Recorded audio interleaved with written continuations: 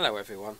I thought it would be interesting in this video to take a look at an unusual but lethal and useful weapon which Ukraine is operating, the PARM mine.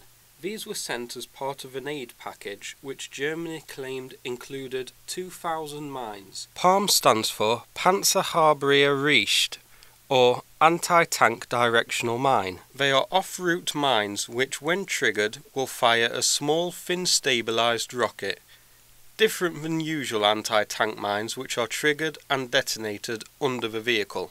Now these aren't the only off-route anti-tank mines in service, for example Poland has the MPB, but this is one which we know is in use by Ukraine, so we're going to take a look at it. The mine first entered service as the PARM 1 in 1988. It is mounted on a small flexible tripod. This tripod can spin 360 degrees, elevate 90 degrees or depress 45 degrees, allowing the system to be rigged and set up in a number of different locations with a number of different firing angles.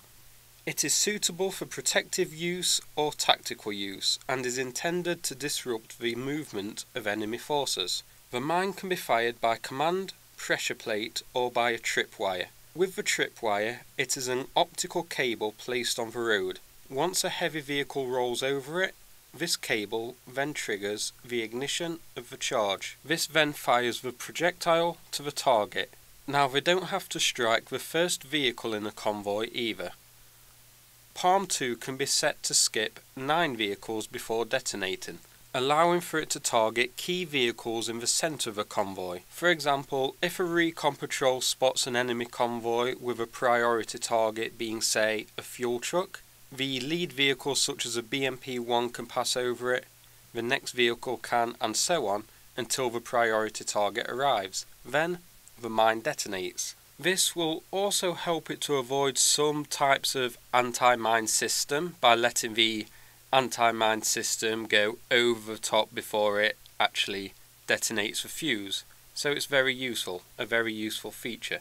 The PARM 1 version has an effective range of 2 to 40 meters.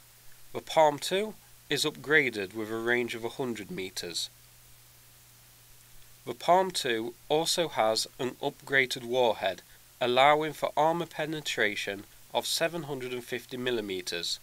For point of reference, the BMP-1 has armour thickness of just 33mm. The T-72 has armour thickness of around 700mm at the front of the turret and hull. The BTR-80 10mm in the hull. So these are powerful weapons, fast too.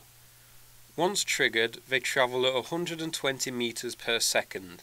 They are also quite light and easily transported, weighing just 20 kilograms. So they can quickly and easily be taken to a possible ambush point.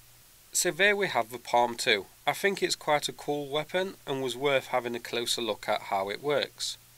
If you enjoyed the video, I'd appreciate it if you'd click like and subscribe to my channel. Cheers and take care.